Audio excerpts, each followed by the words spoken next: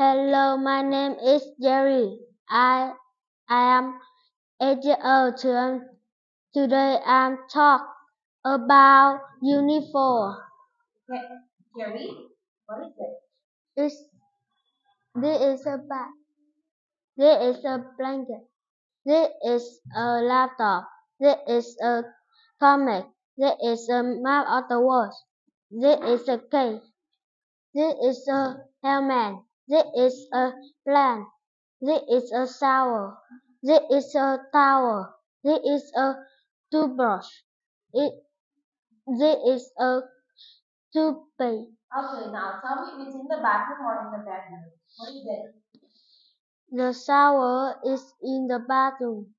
The blanket is in the bedroom. The laptop is in the bedroom.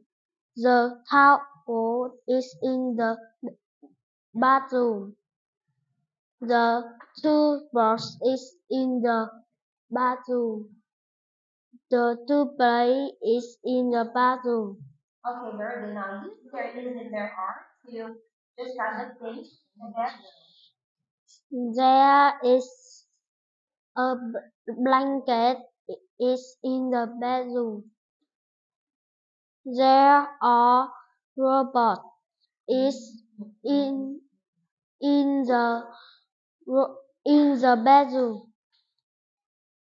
There are balls in the bedroom.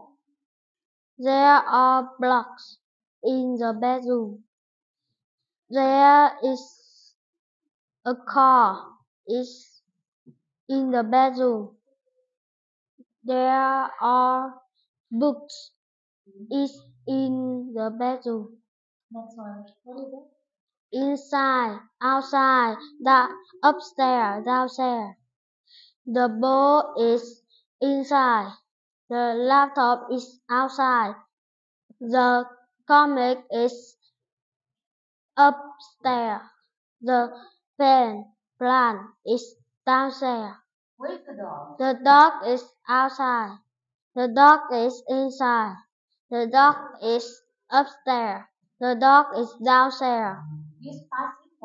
They ate pizza yesterday. They they watch watch a film yet last week. She went to school yesterday. He played football last Monday. She cooked dinner last night. He took photo this morning. Next one. Charlie, where is the gray cat? The gray cat is outside. Where is, uh, how many are there? There are three cats.